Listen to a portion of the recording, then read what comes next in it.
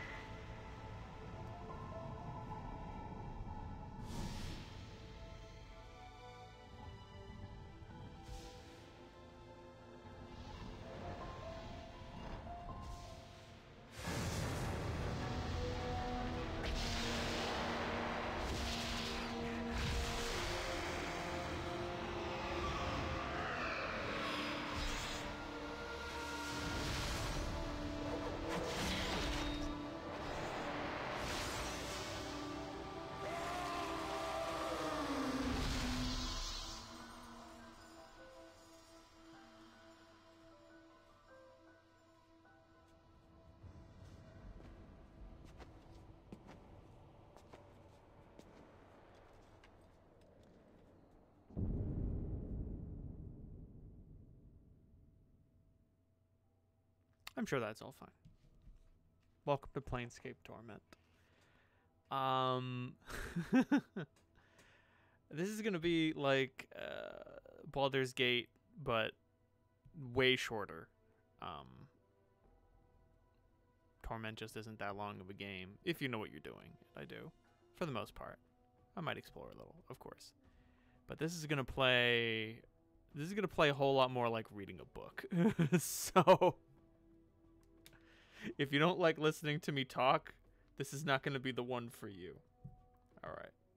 Let's start a new life.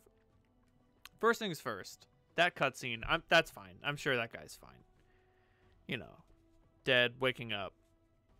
All that seems like totally what's the word I'm looking for? Well adjusted. Yeah, he's a very well adjusted guy. But um even the options are are are wild. We've got we don't have options. We have alter senses. We don't have quit. We have the abyss. We don't have load. We don't have resume. We don't have start a new game. We have new life, select life, resume life. Let's start a new life. Huh. Okay, so we're this guy. I can handle that. Your strength is average. Uh, uh, right. Let's look at these scores and see what they do. Strength. The ability score represents your raw strength. The high strength allows you to carry more weight and makes you mo- makes your melee attacks more accurate and more damaging. I'm not going to worry about having high strength.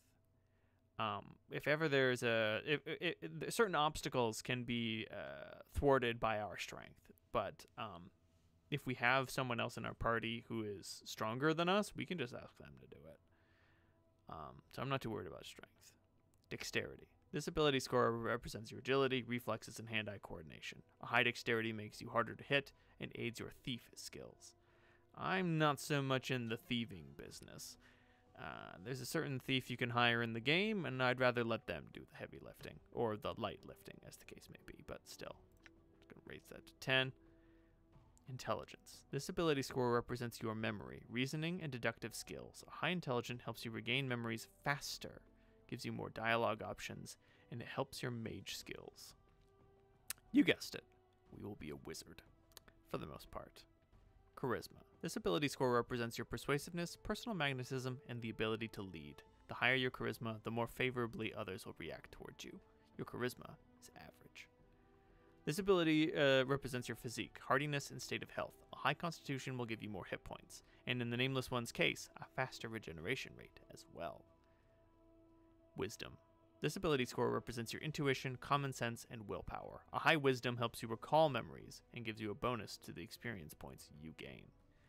So, normally, when in Baldur's Gate, if you completed a quest, uh, everybody would get the quest's XP. Uh, not in Planescape Torment. The, those with the greater wisdom will get the the greater share of the of the experience points. So having high wisdom will give the nameless one more of them. Oh, we are simply the nameless one. We can't add a name. We don't have a name. Feels like that's important. Uh, I'm gonna go for big wisdom. Um, because uh, this is the nameless one show. Everyone else is just kind of hanging out. Um. Oh God, no! Don't spill my cards all over the all over the keyboard. Yeah, our our personal. So so getting more experience points gives us more stat points. Uh, because um reasons I'll explain it later. Um, so I want big wisdom to get big XP, to get big intelligence, to get big XP, to get big intelligence. Uh, so hell, let's go. Let's go for very high wisdom and very high intelligence, very high charisma, and some constitution points too, so we don't die. So we don't fall over and die immediately.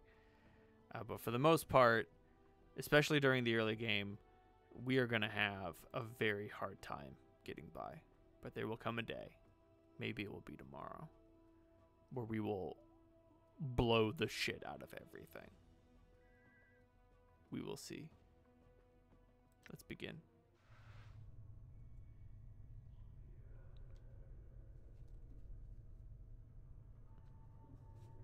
Hey, Chief.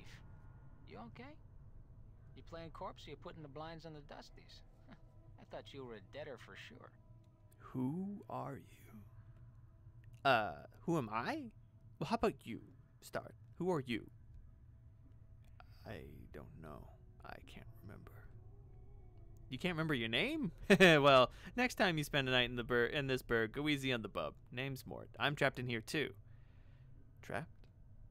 Yeah, since you haven't had uh, time to get your legs yet, here's the chant. I've tried all the doors, and this room's locked tighter than a chastity belt. We're locked in? Where? What is this place? It's called the mortuary. It's a big black structure with all the architectural charm of a pregnant spider. The mortuary. Am I dead? Not for where I'm where I'm standing. You got scars aplenty though. Looks like some berk painted you with a knife. All the more reason to give this place the laugh before whoever carved you up back comes back to finish the job. Scars. How bad are they? Well, the carvings on your chest aren't too bad, but the ones on your back? Mort pauses. Say, looks like you got a whole tattoo gallery on your back, Chief. Spells out something. Tattoos on my back. What do they say? looks like you come with directions. Let's see. It starts with I know you feel like you've been drinking for a few kegs of Styx wash, but you need to center yourself. Among your possessions is a journal. That'll shed some light on the dark of the matter. Pharod can fill you in on the rest of the chant if he's not in the dead book already. Pharod. Does it say anything else? Yeah, there's a bit more. Let's see. It goes on. Don't lose the journal, or we'll be up the sticks again. And whatever you do, do not tell anyone who you are or what happens to you. If they'll put you on the, or they'll put you on the quick pilgrimage to the crematorium, do what I tell you. Read the journal, then find Pharod. No wonder my back hurts. There's a damn novel written there. As for that journal, I'm supposed to have it with me. Was there one with me when I was lying here? No, you were stripped to the skins when you got when you showed up. Besides, looks like you got enough of a journal penned on your body. What about Pharod? Do you know him? Nobody I know, but then again, I don't know many people. Still, some berk's got to know uh, where to find Pharod uh, once we get out of here, that is. How do we get out of here? Well, all the doors are locked, so we'll need the key. Chances are one of the walking corpses in this room has it. Walking corpses.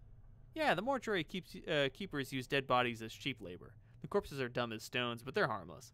They won't attack you unless you attack them first. Is there some other way? I don't want to kill them just for the key. What? You think it's going to hurt their feelings? They're dead. But if you want a bright side to this, if you kill them, at least they'll have a, reset, a rest before the keepers raise them up to work again. Well, all right, I'll do what it takes to get the key. Before you do that, arm yourself first. I think there's a scalpel on one of the shelves around here. Search the shelves in the room for a weapon to attack a zombie with. When you find one, go to the inventory screen and arm yourself. If you wish to examine any items you find, right click them. Alright, I'll look for one. Oh, and one last thing. Those corpses are slow as molasses, but getting punched by one of them is like being kissed by a battering ram. If they start getting an edge on you, remember you can run and they can't. Use it to keep some distance if you need to recover. Thanks. Thanks for the advice. Alrighty then. I'm gone.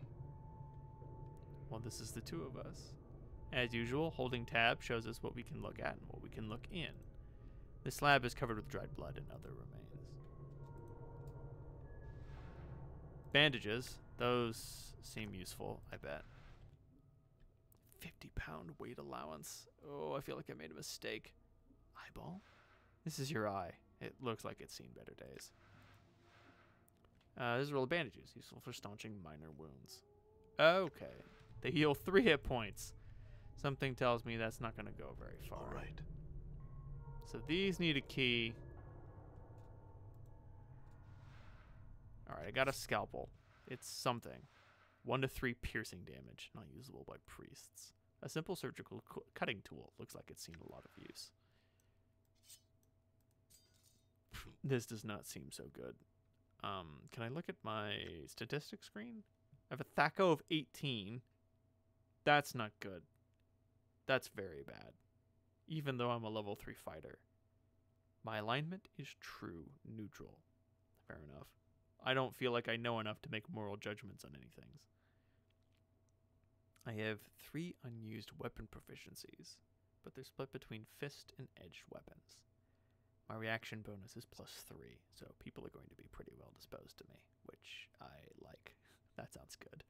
And my lore score is pretty good too, so I'm going to be not as bad as other characters at examine at identifying things I look at. All right, you found the scalpel. Now get those corpses, and don't worry, I'll stay back and provide valuable tactical advice. Maybe you could help me, Mort. I will be helping you. Good advice is hard to come by. I meant help in attacking the corpses. Me? I'm a romantic, not a soldier. I just get in the way. Um, when I attack this corpse, you better be right there with me, or you'll be the next thing I plunge this scalpel into. All right, I'll help. I'm glad we understand each other. Time to introduce these corpses to the second death, then. Yes, let's. Then again, that might not be necessary. Okay. Right, that's my inventory. The shambling corpse looks like it's been dead for several years. The skin along its forehead is peeled back, revealing its chalk white skull. Someone has chiseled the number 569 into the exposed bone. I'm looking for a key. Do you have one? Chief, they can't hear you.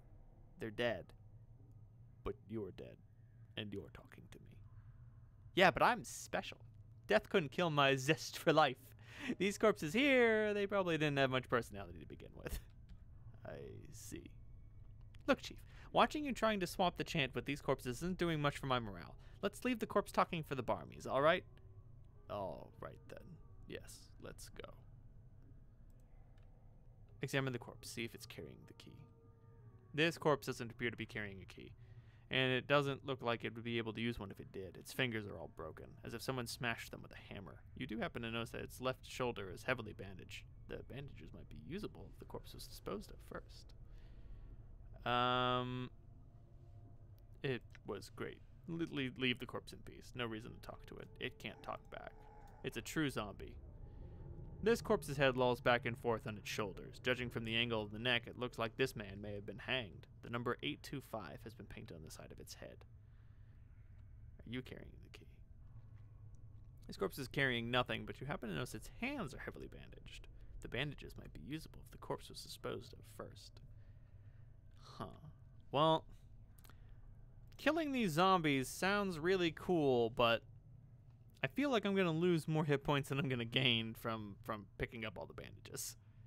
Are you carrying the key? This corpse looks like the one with the key. It's holding it tightly in its left hand, its thumb and forefinger locked around it in a death grip. It looks like you'll need to hack the corpse's hand off to free the key. Uh, okay. Good as done. Okay. All right. I feel like there's an alternative to that, but we are probably just not capable enough to do it. It feels like uh, there's a dexterity check. I feel like a, a dexterity check would allow us to get the key out, or maybe a strength check to like unfurl the fingers, but we are not good enough at any of that in order to do what we want to do. Psst, some advice, Chief? I'd keep it quiet from here on. No need to put any more corpses in the dead book than necessary, especially the Fems. Plus, killing them might draw the caretakers. I don't think you mentioned it before. Caretakers? They call themselves the Dustmen. You can't miss them. They have an obsession with black and rigor mortis of the face. They're an adult bunch of ghoulish death worshippers. They believe everybody should die, sooner better than later. I'm confused. Why do these Dustmen care if I escape? Weren't you listening? I said the Dusties believe everybody's got to die, sooner better than later. You think the corpses you've seen are happier in the dead book than out of it? Um. The corpses I've seen here, where did they all come from? Death visits the planes every day, Chief. These shamblers are all that's left of the poor sods who sold their bodies to the caretakers after they died. Before you said something about making sure I didn't kill any female corpses. Why? What, are you serious? Look, Chief, these dead chits are the last chance for a couple of hardy bashers like us. We need to be chivalrous. No hacking them up for keys, no lopping their limbs off, nothing like that. Last chance. What are you talking about? Chief, they're dead. We're dead? You see where I'm going here? You can't be serious. Chief, we already got an opening line with these limping ladies. We've all died at least once. We'll have something to talk about. They'll appreciate men with our kind of death experience. Wait, didn't you say before that I'm not dead? Well, all right. You might not be dead, but I am. And from where I'm standing, I wouldn't mind sharing a coffin with some of these fine sinewy cadavers here. Mort starts clacking his teeth as if in anticipation. Of course, uh, the caretakers would have to part with them first, and uh, that's not very likely. Uh, all right. I'll try to remember that. Look, Chief, it's obvious you're still a little addled after your kiss with death, so I got two bits of advice for you. One, if you got questions, ask me. All right? Just speak to a party member, select the talk option, and then left click on the party member you want to speak to. All right, if I have any questions, I'll ask. Second, if you're half as forgetful as you seem to be, start writing stuff down. Whenever you come across something that might be important, jot it down so you don't forget. If I had that journal I was supposed to have with me, I'd do that. Start a new one then, Chief. No loss. There's plenty of parchment and ink around here to last. It couldn't hurt. I'll start a new one then. Use it to keep track of your movements. If you ever start to get cloudy on important things like who you are, or more importantly, who I am, use it to refresh your memory. All right, let's go. Updated my journal. Uh, prepare to hear that noise a lot. Find Pharod. Find your missing journal.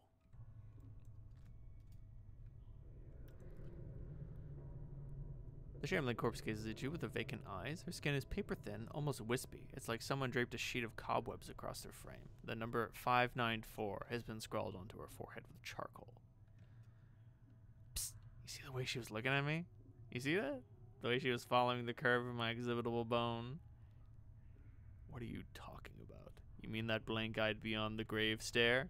Are you blind? She's scouting me out, man. It was shameless the way she wants me. I think you're imagining things. She's a zombie, a corpse, a dead person. You probably didn't even register to her senses. Yeah, yeah, whatever. When you've been dead as long as I have, you know the signals. They may be too subtle for you to pick up, but that's why I'll be spending my nights with some luscious, recently dead chit while you're standing around going, Huh? What's going on? Where's my memories? Whatever, Mort. Let's go. Oh, we can also look at Mort's stats. Mort has teeth, proficiency, fists. Don't ask. Mort's bite is lethal, and he can masticate someone to death. As long as his quick weapon slots are not all filled, Mort can always select bite as his current weapon. Um, Mort's got a lot of resistances, being a floating skull and all. His armor class is quite good. Good con, good dex, mediocre strength, mediocre intelligence, not very wise, and not very charismatic. Two, fist proficiency. A weight allowance of 90. A weight allowance of 90? Whatever. Um, and that's all. Information. Okay. Biography? Of course, you got questions about me. You probably have all sorts of questions uh, about things. Let me boil it down for you. When you've been as dead as long as I have, without arms, legs, or anything else, you spend a lot of time thinking, you know? I figure it's been a few hundred years since I got penned in the dead book, but time doesn't really tally up the way it used to without that mortality thing pressing down on you. All the days and nights kind of blend together. So you think about this and you think about that. And the most important piece of wisdom I've learned over the past hundred years or so is this. There's a lot more obscene gestures you can make with, the, with your eyes and your jaw than most people think. Without even resorting to insults or taunting, you can really light a bonfire under someone just with the right combination of eye movements and jaw clicking. Drives them barmy. If you ever get beheaded and your skin flayed from your skull, I'll show you how it's done. I got some real gems, Chief. They they'd drive a diva to murder, they would. Now I know what you're thinking. I'm dead. I've lost so much. I should have sobered. How long is this? It should have sobered me up to all the joy that I missed, all those loves that I've lost.